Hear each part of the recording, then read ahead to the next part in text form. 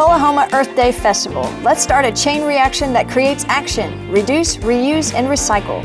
Join us for the second annual Earth Day Festival on Saturday, April 27th, starting at 1 p.m. at Frazier McEwen Park. Enjoy an evening of music, a night in Nashville with Lee Gibson and Company. This free event has over 30 earth friendly vendors, kids' activities, food, beer, and more. Special thanks to our sponsors.